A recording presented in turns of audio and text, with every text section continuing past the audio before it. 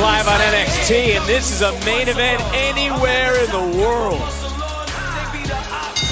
The following contest is scheduled for one fall. Introducing first, accompanied by Trick Williams, Carmelo Hayes. And look, I gotta know, how torn are you sitting out here at the desk? Big, big, two men who have residence inside my faith. Five, it's gonna be good. Danced around the question, by the way. Oh man, it's competition. And his opponent, J.D. McDonagh. We may not have this match if it wasn't for the uh, back and forth that both superstars had to kick us off here tonight. And JD McDonagh book certainly knows how to push the right button. I love this kid. I love this kid, McDonagh. That number one stunner, as well as Carmelo Hayes. That man standing on top of the world. Two primetime players, Vic. This is gonna be good. Well, this is uh also a matchup that both these superstars have the, the same mind frame. They are quick to remind everyone, more so JD McDonagh, that he is also eyeing up the NXT Championship, something that is obviously the goal of that man, Carmelo Hayes. Shouldn't JD, though, have to maybe wait his turn? On. I mean, he's had an opportunity. Hayes hasn't. Wait his turn, Vic. Look at one match could catapult you straight to the top, i.e. Kofi Mania. You remember that? I- That's what this is all about. Hold on a second. So it's you're- about competition. So you're talking about Kofi Kingston. You're probably showing him, Look, giving him his look, I, could, I love what love is due. Kofi Mania was a moment in time, and Kofi captured that moment. Let's see if these two young men can go out here and capture this moment because what a moment it is. What a matchup this is, as well as McDonagh said he's going to have a private room for Carmelo Hayes in the ER here tonight. As a matter of fact, told Trick Williams to call ahead to get that room ready. Look at that, look at that big a plethora of talent in the middle of this ring, but there can only be one, two young, hungry young men. Look at this counter for counter, and whoa, countering the Northern Lights suplex was Hayes. Every blow there is a counter, Vic. Every blow there is a counter. The free throw.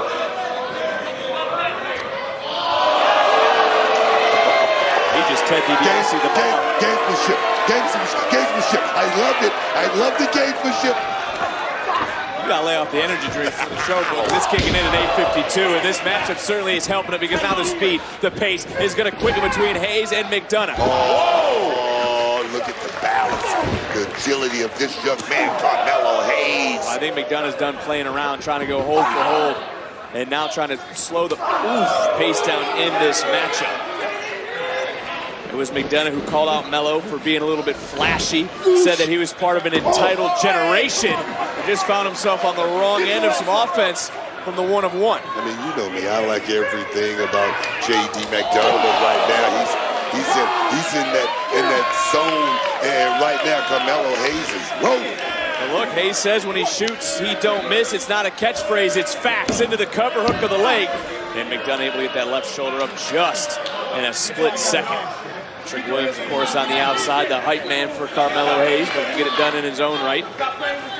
For Hayes, proved a, oh, a lot of doubters wrong this past Saturday in Charlotte. I mean, uh, it's confidence. Confidence got to be through the roof. And I always say, you know, when you when you go out there and pull something off like that against Apollo Crews, you get that that cloak, that cloak of invincibility. That's where he is right now, It's, Vic. it's, it's interesting to bring that up because how rare is it to see two out of three falls just end two straight? I mean, it shocked a lot of us. No, no, what that tells me is Carmelo Hayes has been in that, that think tank. He's he's had that that that black mask on. He's he's been in self-interrogation mode, asking those those pivotal questions. Am I the best? Oh yes, oh yes I am. Oh, now look at McDonagh right on top of Hayes, raining down rights, raining down lefts.